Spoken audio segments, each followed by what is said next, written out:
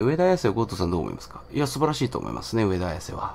裏抜けだけっていうイメージがあったんですけど、ずっと。裏抜けはもちろん上手いですし、一人で抜けて強引にシュートまで持っていくっていうシュート技術みたいなものも身につけてきてると思いますね。あとはスペースがないところでも点が取れるかどうかですね。日本ってね、こう速攻で点取れる選手は多いんですよね。浅野もそうですしね。地高でいけるかですね。地高でってなると、狭いところでの連携だとか、外に一回流れてからもう一回中に入り直すところのマークのズレで裏に抜けたりだとか、そういうまた違う技術が問われてきますんで、そこですね。あとは完成されたフォワードになるためには、